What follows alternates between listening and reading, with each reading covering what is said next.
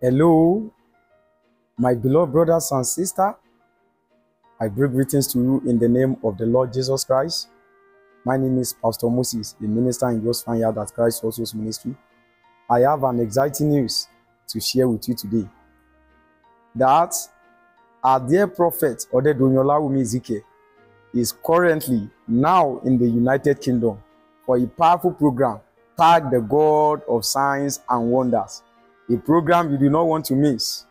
It is not just an ordinary program, it's a gathering where the sick will be healed, the broken heart will be restored, and lives will be transformed. Make sure you join and be part of this global move of the God of Right Calling. I pray as you prepare to join this powerful program, may the hand of the Lord touch you and your life will never remain the same. e cobre esse